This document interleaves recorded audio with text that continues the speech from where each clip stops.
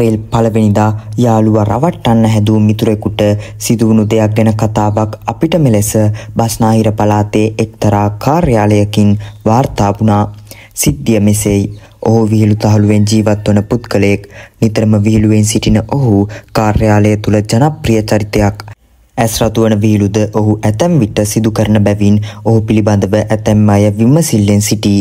හිතේ කිසි දෙයක් නැති වුණත් ඔහු තරුණියන් සමගද නිතරම විහිළු කරයි. එහෙත් ඔහු විවාහ වී සිටින බිරිය ඔහුගේ මෙම විහිළු පිළිබඳ අමනාපයෙන් පසුවන්නේ විශේෂයෙන් කාන්තාවන් සමග විහිළු කරන බැවින් ඔහු තරුණියන් සමග සම්බන්ධතා පවත්වන බවට ඇයට සැකසිතී රණ්ඩු වූ අවස්ථාද බොහෝයි. කෙසේ වෙතත් ඔහු ඇයගේ හොරයක් අවවනතුරු බලා සිට ඇත්තේ හොඳ පාඩමක් කියා දීමට සිතාගෙනයි.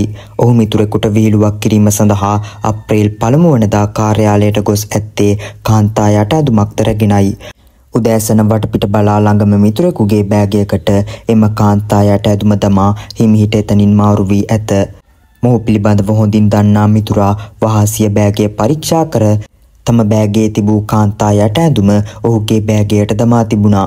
පසුව හවස වැඩ ඇරී නිවසට ගිය ඔහු බෑගය පරීක්ෂා කර ඇත්තේ අප්‍රේල් පළමු වනදා බැවිනුත් තමන්ටද යාළුවෙක් විහිළු කර ඇද්දැයි බැලීමටයි. තුටු දෙයින් දෙවියන් සිහි වූ ඔහු තමා යාළුවාට දැමූ යට ඇඳුම තමන්ට ආවේ කෙසේදැයි කල්පනා කළා. මෙලෙස යට ඇඳුම අතේ තබාගෙන කල්පනා කරමින් සිටින විට ඔහුගේ බිරිය ඔහු අසලට පැමිණ ඇත්තේ නිවස අතුගාමින් සිටින ගමන් කොස්සද රැගෙනයි. බිරිය දැක කලබලයට පත් වූ ඔහු වහා යට ඇඳුම පිටුපසට කර සංගවාගෙන ඇත්තේ දෙවියන් සිහි වී හීන් දාඩිය දමන අතරයි. සැමියා යමක් සඟවනු දුටු ඇය ඔහු සමග පොරබදා යට ඇඳුමගෙන පරීක්ෂා කර එය තමන්ගේ එකක් නොවන බව දැනගෙන යක්ෂයා ආරූඪ වූ බිරිය වේගයෙන් කොස්ස කැඩෙන තුරු ඔහුට පහර දී ඇත. කරුමය නම් එම අවස්ථාවේ බිරිය විසින් එල්ල කළ කුසු පහර කෙලින්ම ඔහුගේ හිසට වැදීමයි. එම අවස්ථාවේ ඔහු සිහිසුන්ව බිම ඇද වැටී තිබුණා. ඉන්පසු කරගත දෙයක් හිතාගත නොහැකි වූ බිරිඳ වහා අසල්වාසීන් කැඳවා සැමියාව රෝහල්ගත කරත් ඒ වන විටත් ඔහු මෙලොවින් සමුගෙන තිබුණා.